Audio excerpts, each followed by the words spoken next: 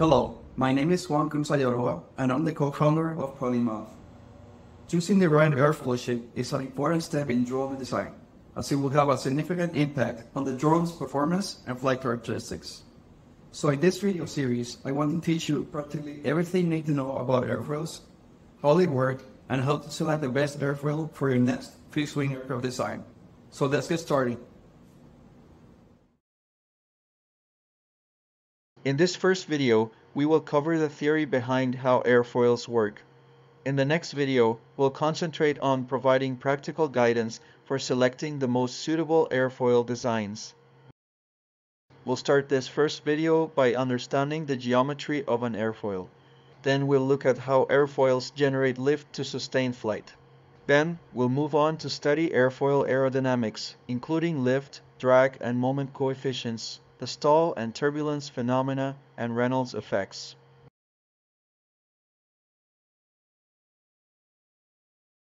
An airfoil is the two-dimensional cross-section of a wing. The geometry of an airfoil gives it its aerodynamic properties. An airfoil's geometry consists of its leading edge, the trailing edge, upper and lower surfaces.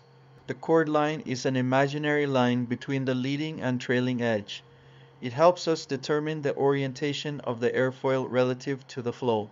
The camber line is an imaginary line halfway between the upper and lower surfaces, which represents the average shape of the airfoil. It helps us visualize the curvature of the airfoil.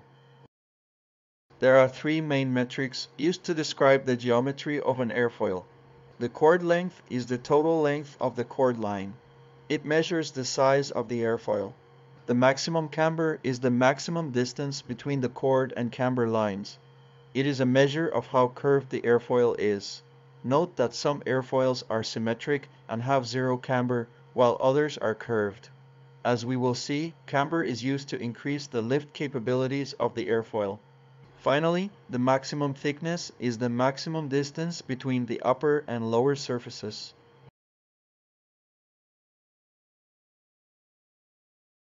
So how do airfoils generate lift to make aircraft fly? Although there is more than one valid explanation, here we will focus on one of the most intuitive ones which relies on Bernoulli's principle. Take a look at how the air flows around an airfoil. Notice that the air bends up as it approaches the leading edge. As the air is forced to flow through a smaller area, it will speed up, kind of like when you close the nozzle on a water hose to spray water faster. Bernoulli's principle states that assuming viscosity and gravity effects are negligible, the total energy of flow stays constant along the streamline. The total energy is composed of the energy contained in the fluid speed and the energy contained in its pressure. Therefore, if the flow speeds up, the pressure must go down. This means that the pressure above the airfoil is reduced as it speeds up. Notice the inverse happens below the airfoil the flow is forced to pass over a larger area, making it slow down, increasing its pressure. Since there is more pressure below the airfoil than above it, there will be a net force upwards, which is the force that sustains flight.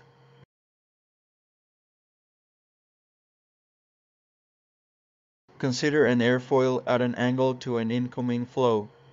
This angle, measured between the chord line and the flow direction, is called the angle of attack. The flow will generate a pressure distribution around the airfoil which results in a single net force, which looks like this. It is convenient to break up this net force into two different forces, one which is parallel to the flow direction, which we call drag, and another perpendicular, which we call lift. The lift acts to sustain the aircraft's flight, while the drag represents the resistance to movement through the air. In aerodynamics, you don't usually deal with the lift and drag forces themselves, but with lift and drag coefficients. By dividing the lift force by one half times the air density times the flow velocity squared times the airfoil chord, you turn the lift into a dimensionless value called the lift coefficient.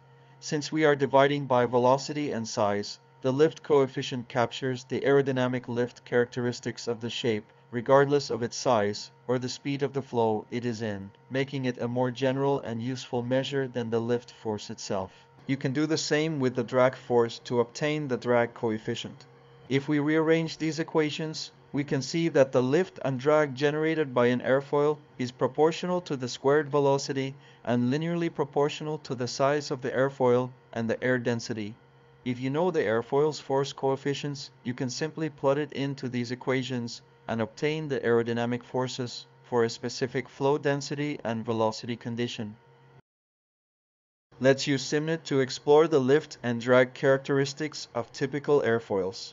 This is a typical plot for a symmetric airfoil's lift coefficient versus its angle of attack. Notice that increasing the angle of attack of the airfoil increases its lift.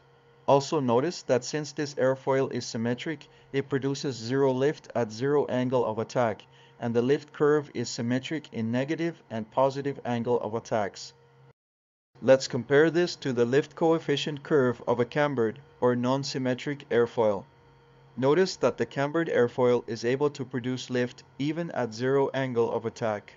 Generally speaking, cambered airfoils are often capable of providing better lift performance, which is why camber is a common feature in airfoil design. This graph shows the relationship between the drag coefficient and angle of attack for a standard cambered airfoil. The drag reaches its lowest point at or close to a zero angle of attack and rises with an increase in the angle of attack in any direction. Usually we want an airfoil that maximizes the lift it provides per unit drag. Therefore, an important measure is the lift to drag ratio, which is also referred to as the aerodynamic efficiency. Here is a representative lift to drag ratio curve for an airfoil. The efficiency is maximum at a specific angle of attack. To obtain maximum range, the aircraft must fly keeping the wing near this angle of attack in order to minimize drag. Keep in mind that the actual aerodynamic efficiency of a wing be much lower than the airfoil's aerodynamic efficiency. This is because an airfoil is a two-dimensional geometry while a wing operates in a three-dimensional flow. As will be discussed in a later video, there are three-dimensional aerodynamic effects which introduce new sources of drag. Despite this, it's generally accurate to assume that airfoils with higher efficiency contribute to more efficient aircraft overall.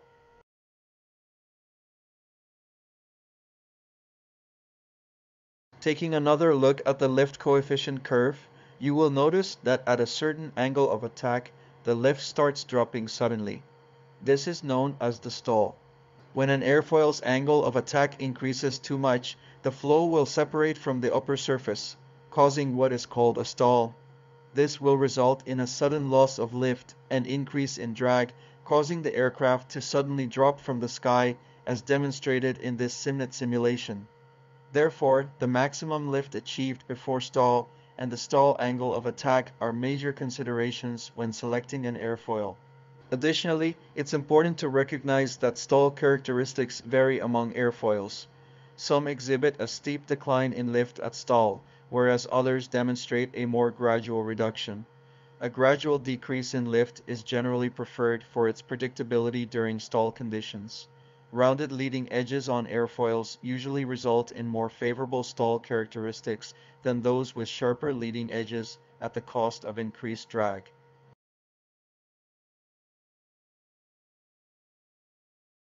Understanding the concept of turbulence is important to understanding airfoil performance and the stall phenomenon.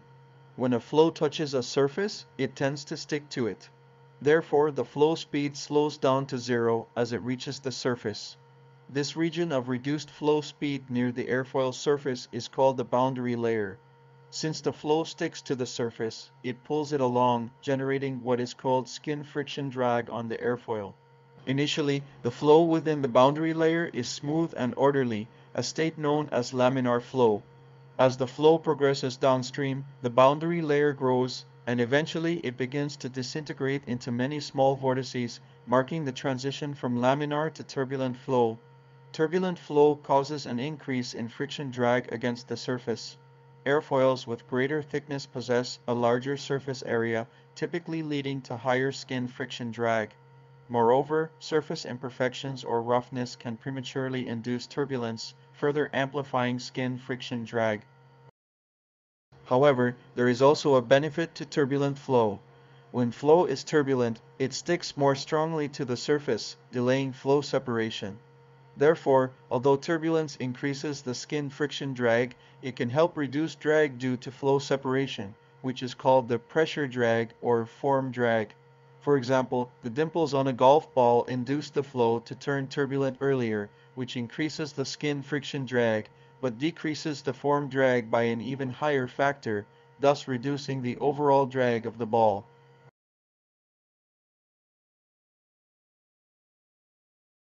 The Reynolds number is a dimensionless value that tells us how likely the flow is to turn turbulent. It relates the speed of the flow to the scale of the object and the viscosity of the fluid, which are the main factors affecting the onset of turbulence. Higher Reynolds numbers means turbulence is more predominant because the flow speed or object scale is large relative to the flow viscosity. We have seen how the lift and drag coefficients are a function of the angle of attack of the airfoil. Now we will see how they are also a function of the Reynolds number of the flow. Let's revisit the lift and drag coefficients of an airfoil, this time considering their dependency on the Reynolds number and angle of attack. In this plot, lines with higher Reynolds numbers are colored with a brighter shade of purple we can see that higher Reynolds numbers tend to postpone the onset of stall to greater angles of attack and enable higher lift coefficients. Therefore, smaller airfoils are more susceptible to stalls, especially at low flow speeds, because of the lower Reynolds number. This is a plot of an airfoil's drag coefficient versus angle of attack and Reynolds number. The drag coefficient of the airfoil is generally reduced with higher Reynolds numbers because of the reduction in form drag. The increase in lift and reduction in drag results in a higher aerodynamic efficiency at higher Reynolds numbers, as shown in this lift to drag plot.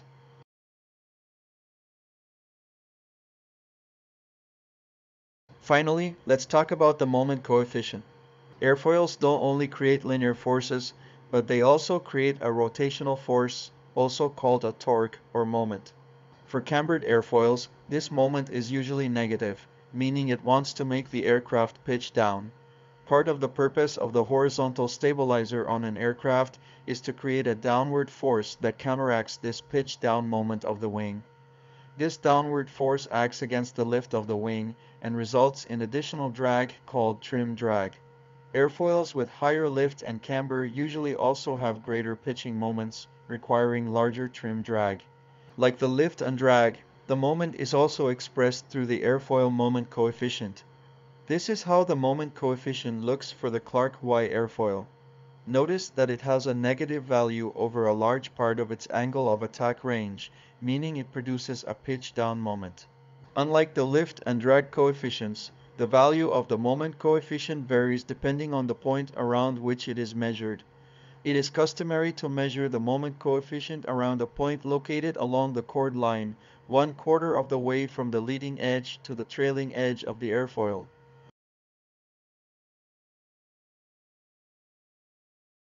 As a summary, the geometry of an airfoil can be described using the airfoil maximum thickness, maximum camber, and chord length. Airfoils produce lift by accelerating the flow above the airfoil and slowing down the flow below it thus producing higher pressure below the airfoil than above according to Bernoulli's principle, which result in a net force which points mostly upward. The net force can be divided into two components. One force that is perpendicular to the flow direction, known as lift, which supports flight, and another force that is parallel to the flow direction, known as drag, which represents the resistance to movement through the flow. The ratio of lift to drag is known as the aerodynamic efficiency of the airfoil. It's more useful to represent aerodynamic forces as non-dimensional force coefficients, which capture the aerodynamics of the geometry independent of the flow speed and density. Airfoils also generate a moment or torque, which can be represented through a moment coefficient. Airfoils with higher camber tend to have higher moment coefficients, requiring more trim drag. The stall phenomenon happens when the airfoil angle of attack is high, causing the flow to separate from the upper surface and producing a sudden reduction in lift and increase in drag. Flow passing over a surface produces a boundary layer which eventually turns the flow turbulent. Turbulence increases skin friction drag, but delays flow separation, potentially reducing form drag and delaying stall to higher angles of attack. The Reynolds number is a value that captures how likely a flow is to be turbulent. Lift, drag, and moment coefficients are a function not only of the airfoil's angle of attack, but on the flow Reynolds number. Higher Reynolds numbers delay stall and increase airfoil aerodynamic efficiency. This video is brought to you by the SIMNET cloud-based drone design and simulation solution. Thanks for joining me in this exploration of airfoil theory. Subscribe and stay tuned for our next video, where we will dive into applying these principles to the design of fixed-wing aircraft.